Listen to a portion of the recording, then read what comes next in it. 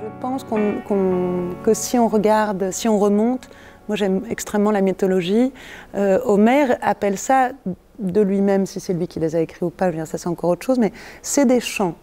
C'est pas pour rien que très certainement l'être humain a dû commencer par créer de la résonance sur son corps, d'une manière ou d'une autre, chanter et danser a dû être une des premières choses qu'on faisait, euh, et essayer de rendre compte de ce qu'il y avait autour de nous, de trouver une forme d'immortalité dans, voilà, dans le dessin, dans les caves et ces trucs-là, mais très clairement, le rythme des mots, ça a une importance monumentale.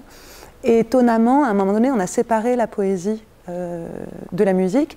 Mais si on y pense pour de vrai, là, on aurait du mal depuis 30 ans à parler de, poètes. Moi, je vois, il y a Kate Tempest, qui est une poète que j'aime beaucoup, donc voilà, il y a elle. Mais sinon, qui gagne le prix Nobel C'est Bob Dylan, et c'est pas pour rien. Si on regarde les paroles de Bob Dylan, c'est de la poésie. Moi, je recommanderais même les romans, moi je les lis à voix haute.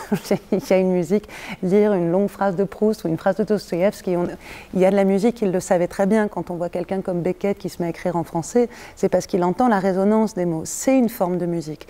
Et la poésie, on peut même se détacher du sens encore plus et rentrer dans les résonances de mots. Et c'est pour ça que j'avais envie, euh, pour ce spectacle, de dire la poésie de Dickinson en anglais, pour se rendre compte du rythme qu'il y a dedans.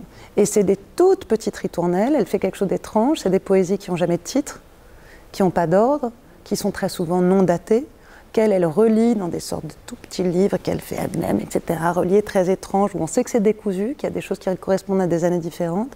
Et très clairement, ce qui l'intéresse, c'est le rythme de ce qu'elle dit. You'll find it when you try to die. The easier to let go.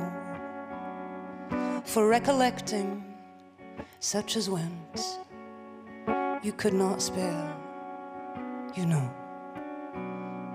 And though their places somewhat filled, as did their marble names with moss, they never grew so full.